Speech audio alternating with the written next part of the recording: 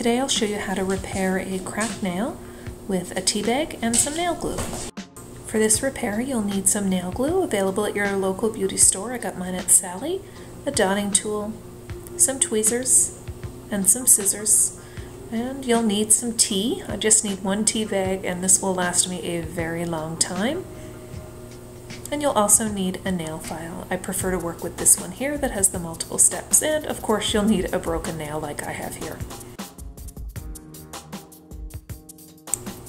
To get started, we're going to give your nail where it's cracked just a quick little buff just so there are no sharp edges.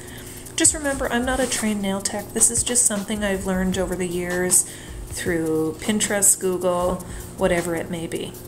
So you're just going to start by taking your tea bag out of the bag. You're going to cut the top off and discard the tea that's inside.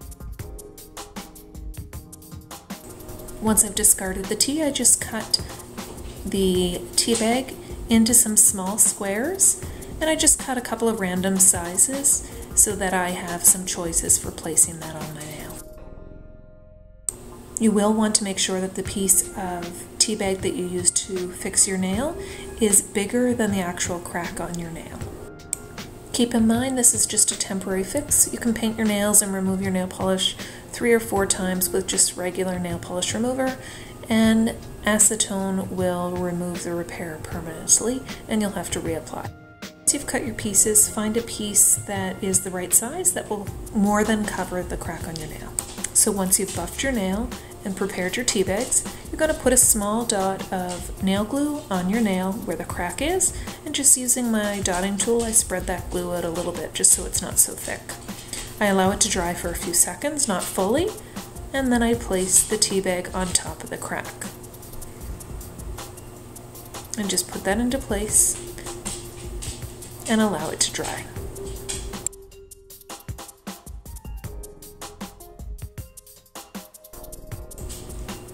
I like to test it out with my dotting tool to make sure that all the glue is dry and that there's no wet glue seeping out from underneath. And then I apply more glue, again spread it out with the dotting tool and allow that to dry.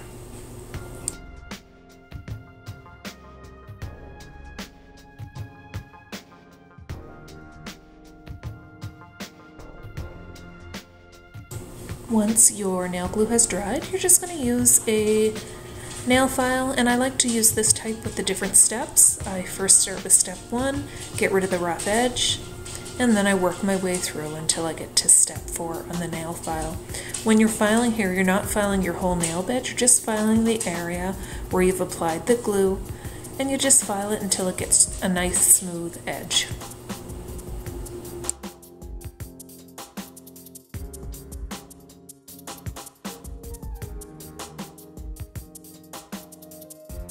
So here's my nail after everything is filed down. You can see close up, you can see the edge a little bit, but it is a smooth transition.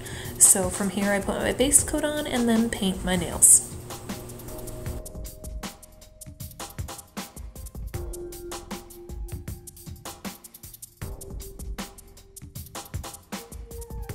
Thanks so much for watching. I hope you liked the video. Please comment, share, subscribe, and thumbs up are always appreciated.